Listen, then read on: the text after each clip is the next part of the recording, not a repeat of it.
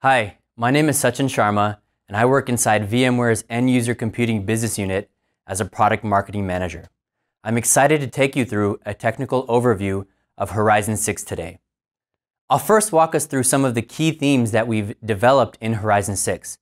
The major themes in this release include our Cloud Pod architecture, RDS hosted applications, Virtual SAN, or also known as vSAN, our application catalog, vCOps for Horizon 6, as well as some Mirage enhancements.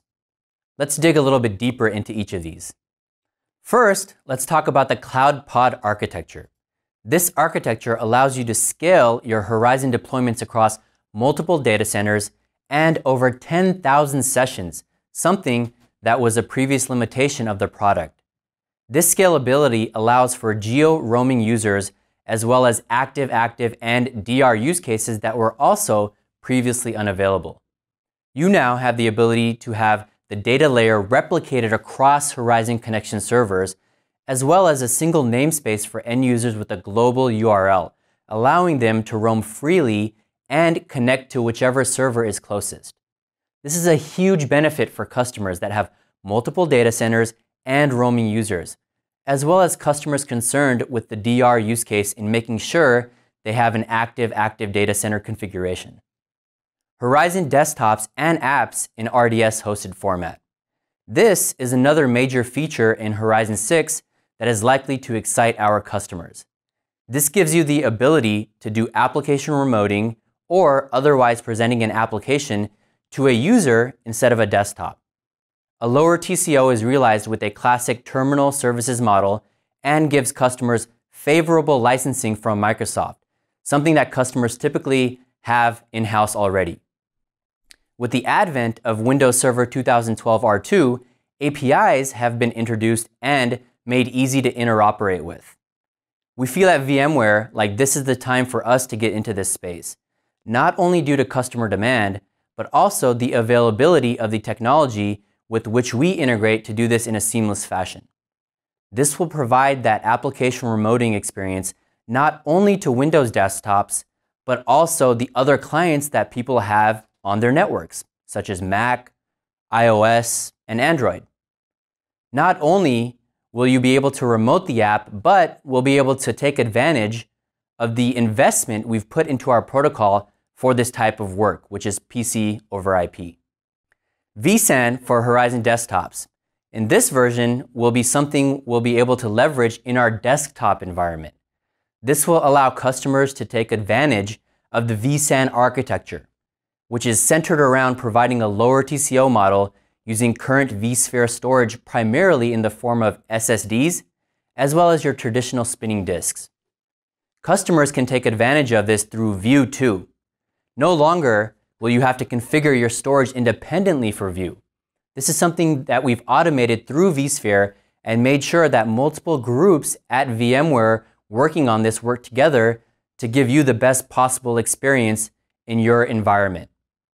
Some of the benefits you'll receive from this are reducing CapEx costs of VDI and simplifying use.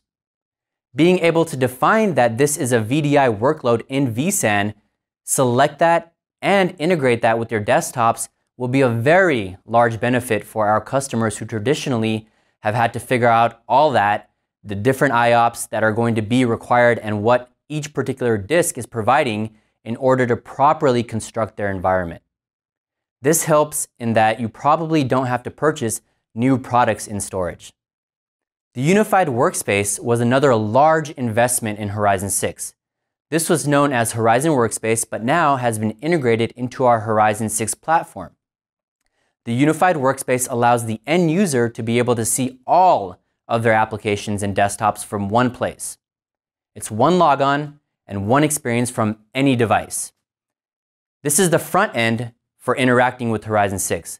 Not only do you find things that you traditionally found in Horizon Workspace, such as SaaS applications and local apps such as ThinApps, but you'll also now find new apps through our Citrix XenApp integration, as well as Horizon Remote app integration or RDSH apps. This allows you to extend out and provide that single pane of glass that all of your users want. You'll also find all of your desktops in here that are in your Horizon 6 View platform. vCOps for Horizon 6. In this release, there is integration between vCOps and Horizon 6. Some of the highlights here are an integrated console for all vCOps environments from the desktop to the server, etc. This allows for great granular point of view of end user clients in Horizon 6. For example, we can monitor the infrastructure that Horizon is running on. Proactive analysis of your environment helps you monitor and quickly remediate. RDSH session support in Horizon 6 is supported through vCOps. Mirage with Horizon desktops. In the past, Mirage was focused on physical PC management. With Mirage, IT could perform OS migrations, backup, and restore, all, along with hardware migration. With Horizon 6, we're introducing the ability to manage physical desktops and virtual desktops.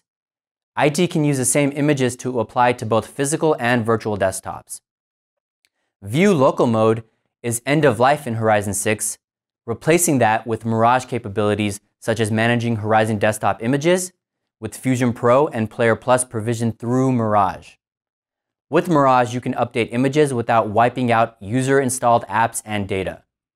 We've put in a number of improvements to minimize performance impact of Mirage operations in virtual desktop environments.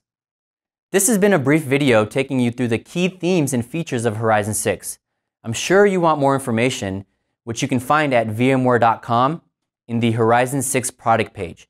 I encourage you to go there to learn more about this product. Thank you.